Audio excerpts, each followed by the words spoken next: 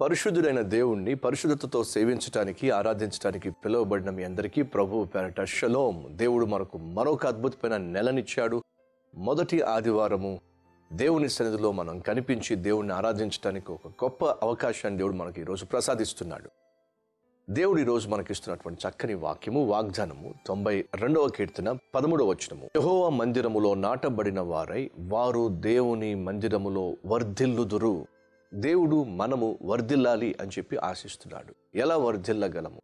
ఆయన సన్నిధికి రావటం ద్వారా ఆయన సన్నిధిలో కనిపించటం ద్వారా ఆయన సన్నిధిని అనుభవించటం ద్వారా ఆయన సన్నిధిలో వాక్యాన్ని ధ్యానించటం ద్వారా ఓడిపోవడానికి కాదు దేవుడు మనల్ని పిలిచింది వర్ధిల్లడానికి దేవుడు మనల్ని పిలుస్తున్నాడు. రండి దేవుని సన్నిధిలో వాక్యాన్ని ధ్యానిద్దాం దేవుని సన్నిధిలో ఆయన యొక్క శక్తిని అనుభవిద్దాం ఆ శక్తిని కలిగి వాక్యాన్ని ధ్యానించి వారమంతా జయ జీవితాన్ని జీవిస్తూ మనం చేసే ప్రతి పనిలో వర్ధిలు లాగున దేవుని కృపను పొందుకుందాం.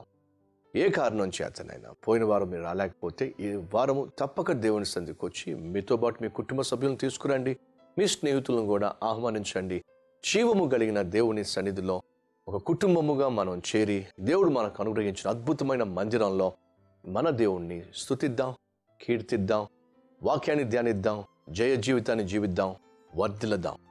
తప్పక ఈరోజు మీరు వచ్చి దేవుని సందులో కనిపిస్తారని ప్రభువును స్థుతిస్తూ కీర్తిస్తూ వాక్యం ధ్యానించి దేవుని మహింపరుస్తారని మనస్ఫూర్తిగా మీరు ఆ కొరకు కొరకు ఎదురు చూసే మీ సతీష్ కుమార్.